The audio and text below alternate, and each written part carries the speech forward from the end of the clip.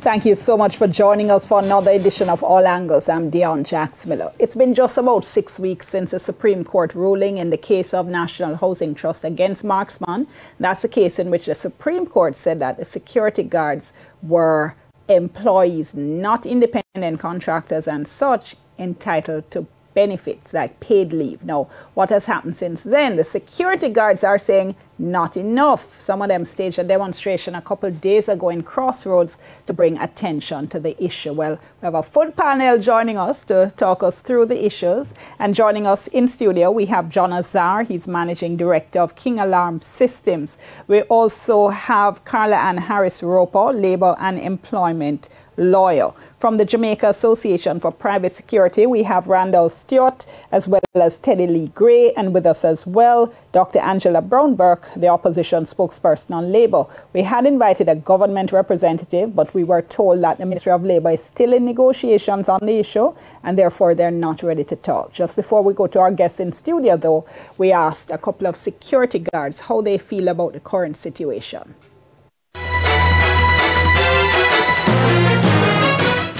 Well, I'm kind of disappointed, you know, because the court had ruled. We had always known that we were employees, but the court has made it more indefinite now. Um, the thing that I see the company is still doing with our statutory deduction, they're still taking their portion of the statutory deduction from our pay, which that should have been stopped a long time ago. But yet still the company's team still telling us that we are contractors, so they still take their portion from our pay. And have you heard anything as to what is happening? All we keep hearing is they're waiting on government. That's all we keep hearing. I am very disappointed. I am very to say that nobody is saying anything or coming out to say that listen to me. I want you to give me some more time.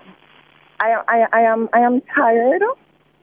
I am tired of this because the thing is that if there's an hold or if there's a barrier, why can't our no, why can't the managers come to us and explain to us?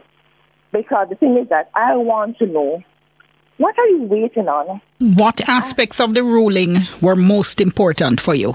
I am so happy that the, the, the court, the judge charged that if I am sick, I don't get paid for those days if I want to go on vacation, I have to pay for. I, I, I don't get I don't, don't get any form of benefits, and everybody know this. You know this.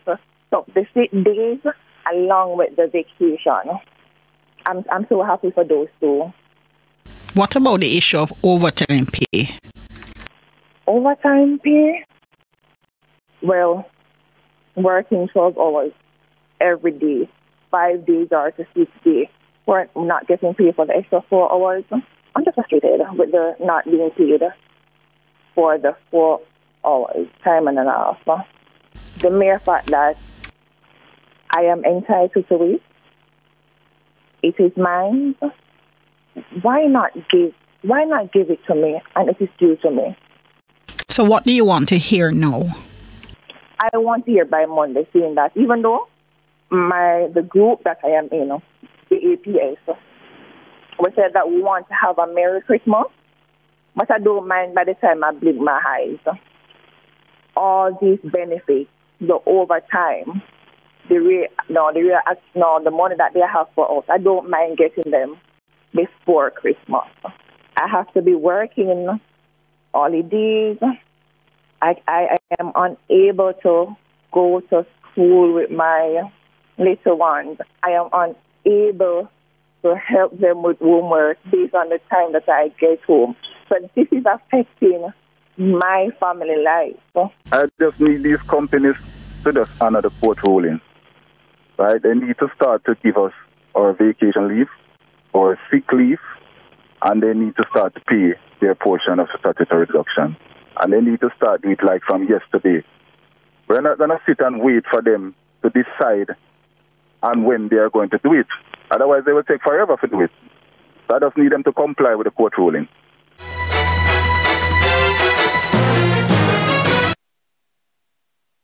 Harris Roper, let me start with you. And what's the, what's the import of this ruling? You know, Dionne, the, the, the real import is that any security company, and indeed other entities that label persons who work with them as independent contractors, the court ruling is pointing you to the fact that, as Justice Batts said, it doesn't matter what they intended to create, it's what they in fact do create. And that's the important point. That if it walks like a duck, talks like a duck, it's more likely than not a duck, no matter what you label it as.